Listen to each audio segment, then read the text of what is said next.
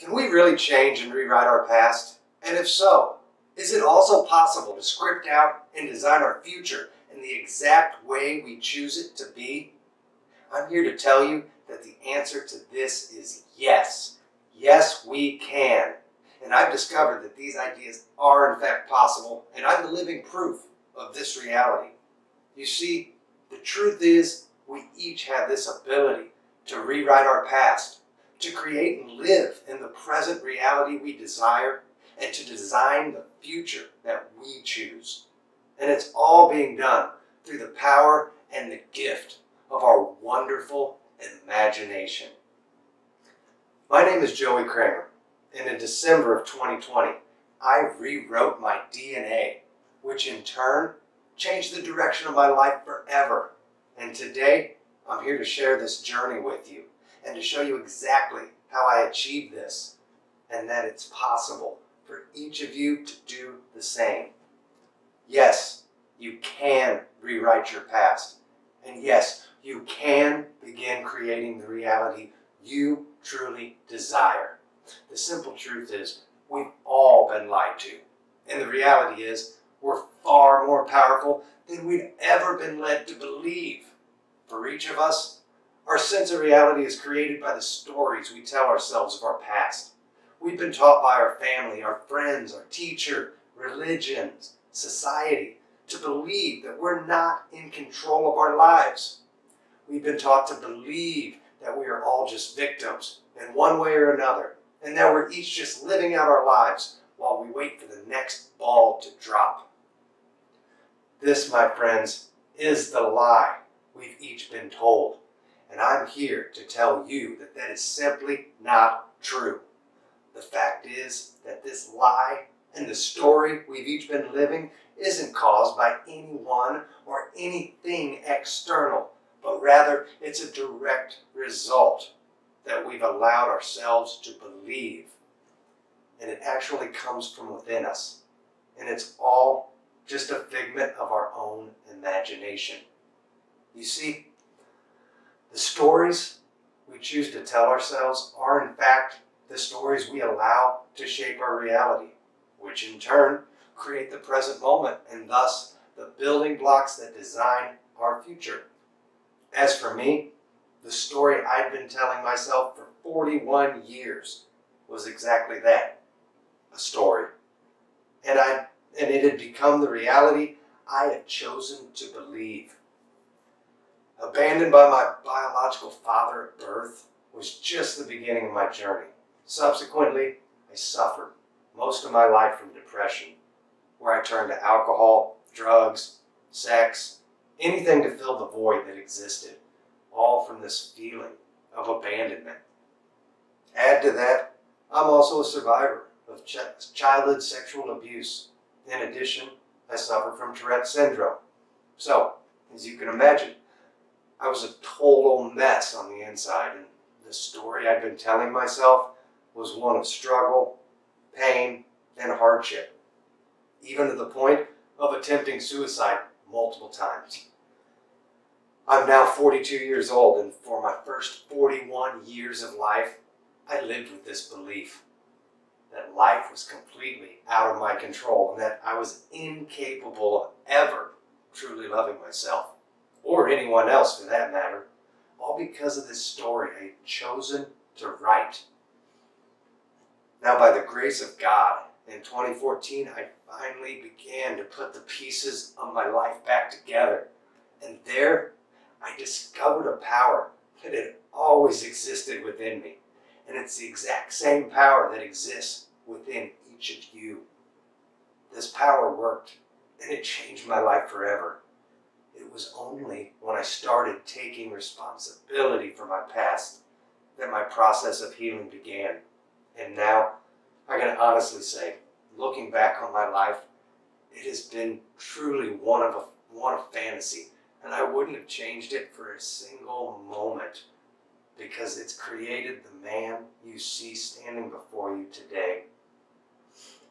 Now, over the past 18 months, my transformation and my evolution have been kicked into overdrive. And during that time, I read just shy of 300 books, I attended six Tony Robbins events over the course of nine months, and I helped my wife create a successful e commerce business. And in December of 2020, I performed my own miracle of rewriting my DNA. Now, you're probably asking yourself, how exactly did I rewrite my DNA? Well, that's the best part of my story. And to be honest, I probably wouldn't have believed it if it hadn't actually happened to me. So, as I mentioned, last year I attended six Tony Robbins events, and one of those was his signature event, Date with Destiny. I approached the event with one single purpose in mind. I was going to remove the anger I'd been living with all my life, and it was still raging inside me. I didn't know, I didn't exactly know where it came from, but I believed this had to be the final piece of the puzzle that had been holding me back from finding my true destiny. The event began, and after day one, I started to realize that all this pent up anger and rage I'd been feeling my entire life had actually stemmed from this feeling of abandonment I'd suffered due to my biological father leaving when I was born. Imagine that. You know, I realized though that all this pain and all this misery I had imposed on myself was actually just a story I had created. And it was one that I had convinced myself to believe for the past 41 years. So on the morning of day number two, I decided I was going to sit down and write a letter to my biological father that I'd forgive him for this misdirected, misguided anger that I had towards him for his leaving. I never intended to actually send it, but I felt it would help me get this burden off my back. Needless to say, I didn't even make it through one sentence, and I broke down and I cried. I cried like I'd never cried before, and that went on for a straight hour. And then as quick as it happened, all of a sudden it was over. And it was as if this enormous weight had been lifted off of me. And as I finally gathered my composure, I looked back down at that letter I had attempted to write, and I realized there was no longer any need to actually write it. I was able to see now that this event and all the subsequent events in my life actually had nothing to do with him or with anyone else for that matter, but in fact had everything to do with me. He was not the cause of my pain, but rather he was just a story and the lie I had created to shield myself from my own failures. I realized then that the only person I truly needed to forgive was myself for all the lies I'd been tricked into believing. So now Let's fast forward to day five of the event, which is known as Transformation Day. And that night, we performed a meditation exercise where each of us would go back and recall our earliest childhood memory. What appeared to me was an event I'd long forgotten about. And at that moment, I was seeing myself again as a five year old boy. And I was on a road trip with my mom down to Texas. We were going to visit my biological father in what I could only assume was an attempt to win him back. We were first told to go back into this moment and to place ourselves into our bodies and begin seeing and reliving that exact moment. What was I doing? What was I feeling? We were then told to remember what we were thinking just prior to that event happening. For me, I remembered was just a small little boy who only wanted desperately to have a father in his life. I remembered how badly I wanted this. To feel loved, to feel normal, to be just like the other kids I knew, the ones that had dads. It was also at this moment that I began to feel the fear and the anxiety of this situation. I began thinking to myself, what if I screwed this up? What if he didn't love me? Would I be good enough for him? I then remembered that feeling I had, as if this was all on me. And if he didn't come home with us right now, it would ultimately be my fault.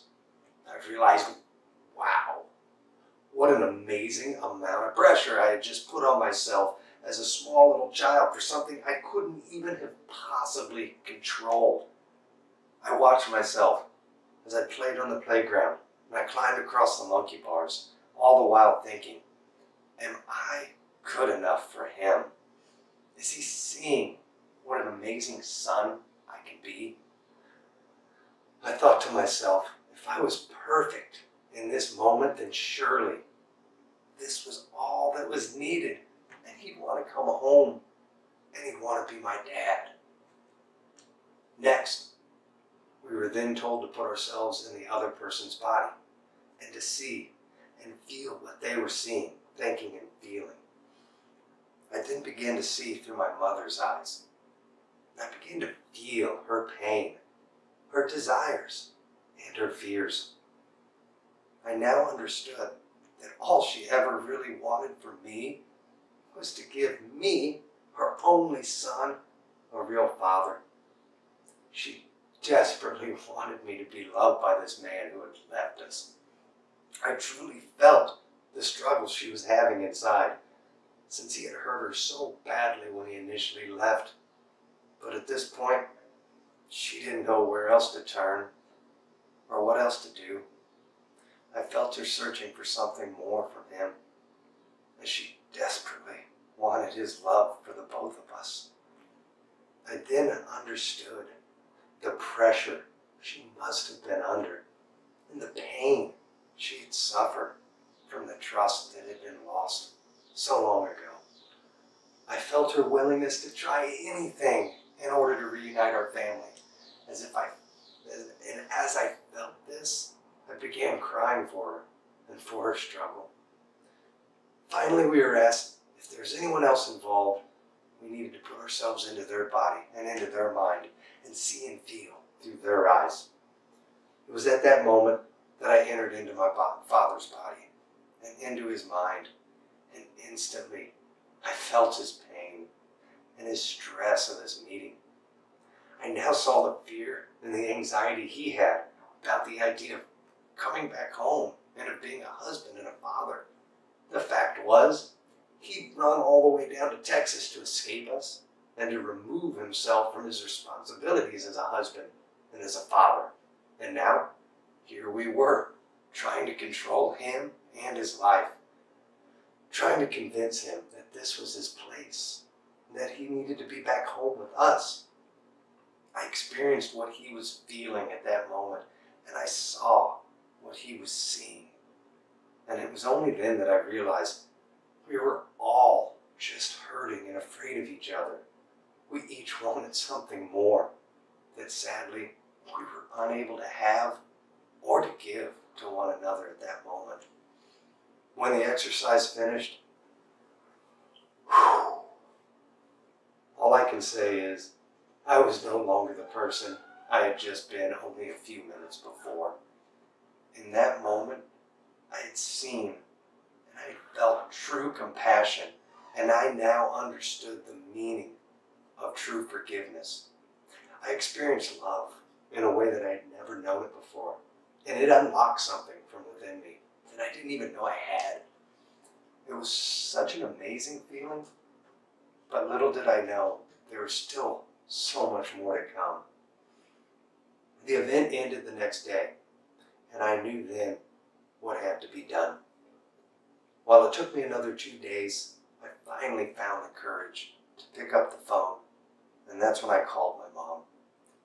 I wanted to share with her the experience I had just had and the healing that had just taken place for me. The conversation began with me telling her how much I loved her and how I had forgiven her for anything she thought she may have ever done wrong in raising me.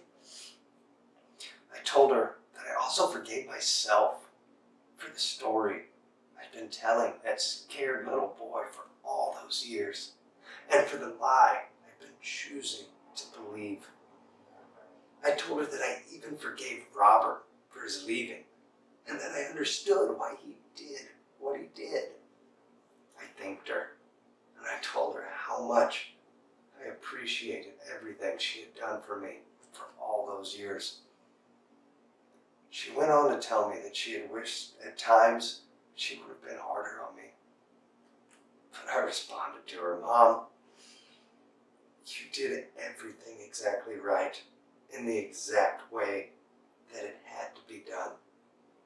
I reminded her of how fragile I had been back then, and that in all likelihood, if she would have been any harder on me, I probably would have broken.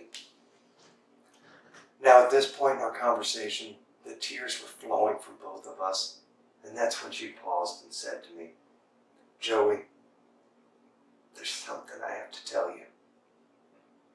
She went on to say that she'd been keeping a secret from me for 41 years now, and that there were only three other people in the entire world that knew what it was my stepfather Bill, my biological father Robert, and my uncle John, who had passed away a year before. She said that each of them were all determined to take it to their graves with them, which my uncle ironically did. And now, apparently, this secret had been weighing so heavily on her for the last 41 years, I could sense her need to release herself from it, and she began to tell me the truth. Through her tears, she said to me, Joey, Robert is not your father. And at that moment, it got really quiet. And I thought to myself, did she just say what I think she just said? So, with a little excitement and a little anticipation, I responded with a smile to her and I said, Go on. It was only then that she began to tell me how badly she wanted a child and that Robert was unable to bear children of his own. So, in her attempts, she sought out every possible path she could to, for her own child. She said she even went as far as the Colombian embassy to see about adopting an orphan. Now, at this point, I, I had to stop her in my amazement. I said, Wait a minute, wait a minute, wait a minute. Is that why I get so tan in the summertime and why I'm the only person in my family with bright blue eyes? Are you telling me I'm half Colombian? She responded sobbingly, No. And to my disappointment, I realized then I was not the exotic child of a Colombian drug lord. But she did go on to tell me that she had been working at a local hospital in Kansas City. And it was there that they were doing a new experimental procedure at that time known as in vitro fertilization she decided to enroll in that experiment. And both her and Robert, they signed off on all the confidentiality paperwork. And so it was. And at that moment, I discovered I was no longer the son of an alcoholic, womanizing man who had abandoned me at birth. But in fact, I was actually the biological son of a medical student who later became a doctor at that very same hospital. Needless to say, my mind was totally blown at that. And that's when I realized what just happened. In real time, I literally rewrote my entire story, including my DNA. And I realized that that story I had been telling myself all these years was in fact just one big lie. This man, whom I blamed for all the pain and suffering for the first 41 years of my life, turns out was simply nothing more than my mom's first husband, who just so happened to leave her when I was born. From all of this, I found that through my own compassion, forgiveness, and love, I was able to first accept my past and then I was able to completely rewrite it into an entirely new story.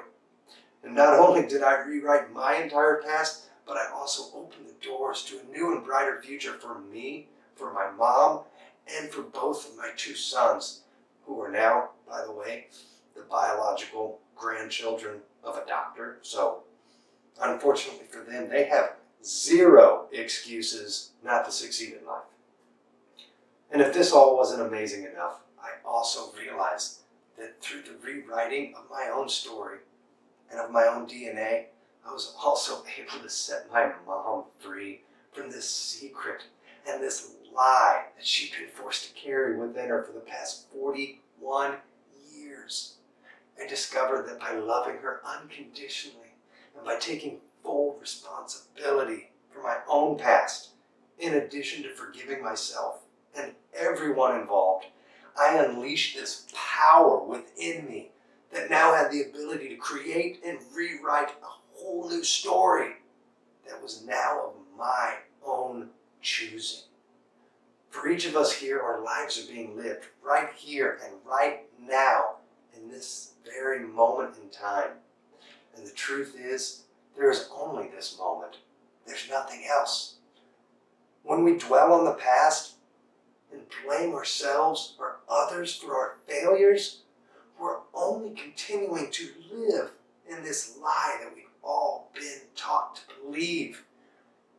Each of us possess this amazing power and this ability to decide exactly how our story will play itself out. And it's up to us to choose how it will be written. I discovered that through the power of compassion, forgiveness, and love, we can each discover this power and our own greatness that's hiding inside of us all. After all, what do we have to lose in committing to and practicing these three principles? I can assure you of one thing. If you go home from here today and you continue living by the same story and the same lies you've been telling yourself about your past, then I promise things will stay the same for you. Hell, they might even get worse. But there is another option, a better one.